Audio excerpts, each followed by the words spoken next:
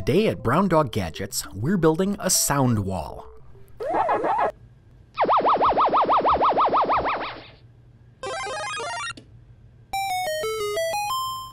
For this project, we'll need a Crazy Circuits invention board, a Lego plate, some flat Legos, Crazy Circuit screw terminals, an MP3 playback board, 1 8 inch maker tape, male female jumper wires, USB power and programming cable for the invention board, and conductive paint.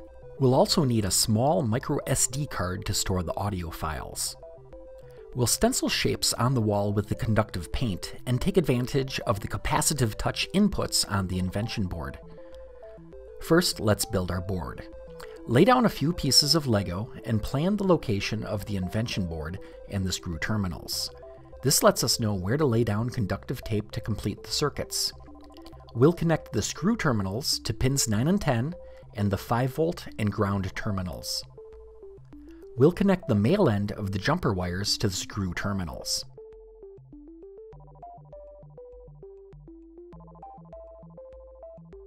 The other end plugs into the MP3 board. Load your sound files onto the micro SD card. Simply plug the card into your computer and copy the appropriately named files. Then, plug the micro SD card back into the MP3 playback board.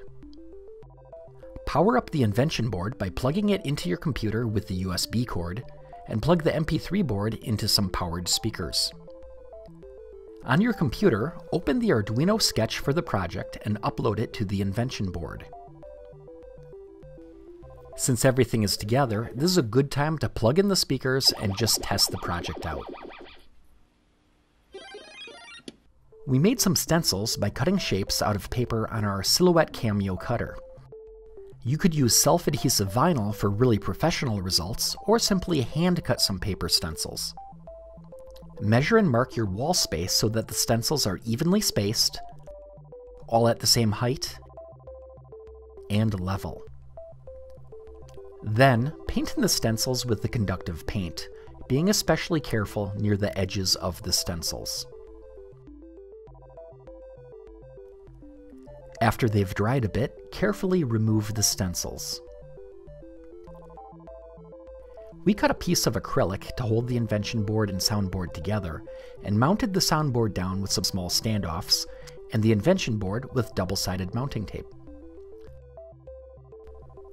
For convenience, we put Velcro on the back to mount the project to the wall.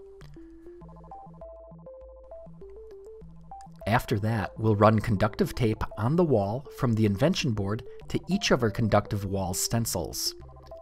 Be careful with the conductive paint as it does smear easily.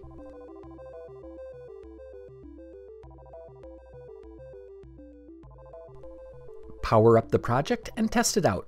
You may find you accidentally assigned the wrong audio file to a particular shape, or that you might want to adjust the code. You can put a little more paint over the end of the maker tape to hide it. You might want to do any other paint touch-up at this time as well. After all the paint is dry, apply a clear coat. This will prevent damp hands from ever smearing the black conductive paint in the future. You now have a fully functional sound wall.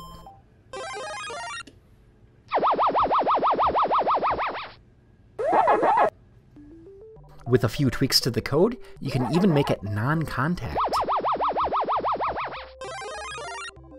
If you ever want to change the sounds, just pop out the micro SD card and load some new ones. What shapes and sounds will you use in your project? Let us know.